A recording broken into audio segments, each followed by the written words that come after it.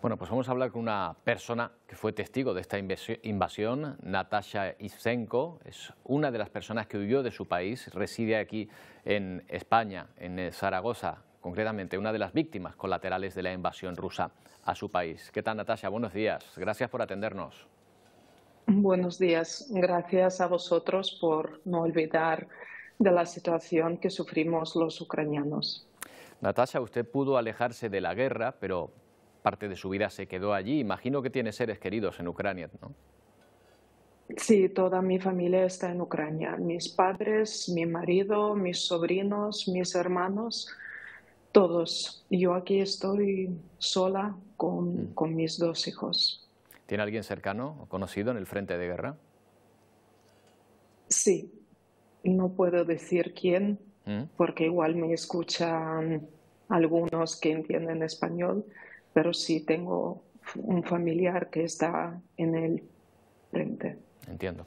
Natasha, ¿en qué zona del país residía usted? ¿En alguna de las invadidas por Rusia?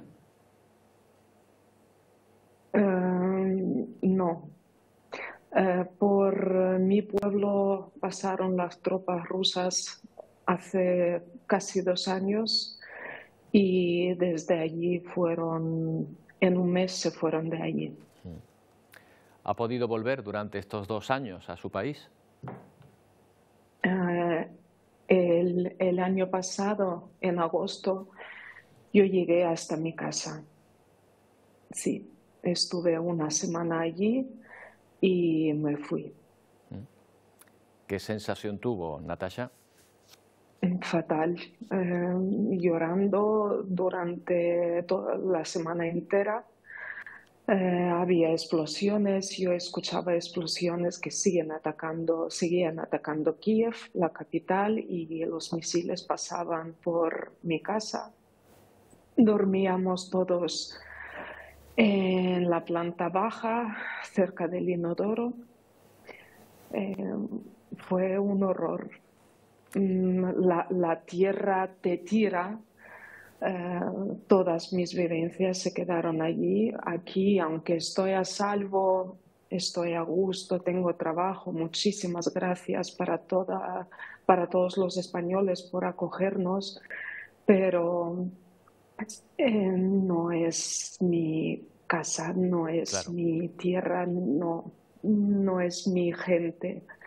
Por eso yo eh, físicamente me sentía fatal por todo lo que pasaba alrededor, pero emocionalmente eh, me sentía tranquila porque estaba entre los míos.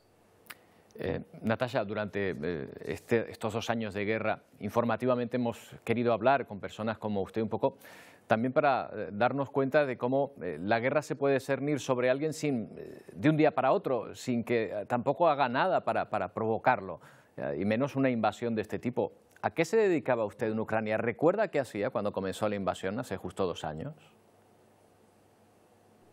Eh, ¿Usted se refiere al trabajo que yo hacía? Sí, y, a lo, que hacía ese día cuando usted se dio cuenta de que, de que comenzaba la invasión, de que se enfrentaba a una guerra. Eh, yo no quería aceptarlo. Yo vivía mi vida, yo trabajaba, yo me dedicaba a casa, a los chicos, a, mi familia. Mm, se hablaba por la televisión que había tropas rusas cerca de las fronteras con Ucrania, pero tú lo, escuchas y dices, pero esto eh, ahora, en esos tiempos, una guerra con un país que es proeuropeo, que tiene fronteras con cuatro países de la Unión Europea, es una locura, eso no puede pasar. Va a morir mucha gente por las dos partes. Mm, eh, eso, no puede ser, eso es un, es un sueño. Y eh, el, 24 de... De febrero. Me cuesta... Lo entiendo. Sí, mm. de febrero. Lo entiendo, lo entiendo, Natasha. No queremos eh, tampoco recordarles, traerles malos eh, recuerdos. Es algo que está ocurriendo. Déjeme consultarle una última cuestión, porque son días complicados ante una nueva ofensiva rusa. ¿Nota la moral más baja entre sus compatriotas? Sí, ya no somos tan optimistas. Voy a decir la verdad, no quiero mentir. Yo creo que hace dos años, incluso el año pasado, éramos más optimistas. Mm, ahora se ve que es que el enemigo es muy potente. El enemigo tiene más soldados, más armas, siguen fabricando. Nuestras fábricas las destruyen, pero las suyas están en pie. Y se preparan para algo muy grande. Según yo, las noticias que tengo yo de, los, de mis amigos militares, de mis familiares que hicieron la mili, que están en el frente, se preparan para algo muy grande.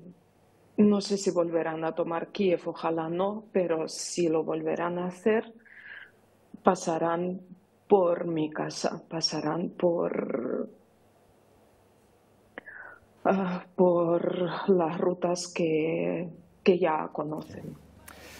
Natasha, lamento eh, haberle hecho recordar pues, cuestiones tan dolorosas, pero creo que es importante que, sepamos todos un poco cómo, cómo, se está viviendo esta situación eh, todavía y la importancia que tiene la, ayuda occidental para, para, poder, eh, para que se pueda seguir defendiendo Ucrania, que es lo que estamos viendo en estos, en estos días, la falta de municiones y la importancia de que llegue esa, esa ayuda.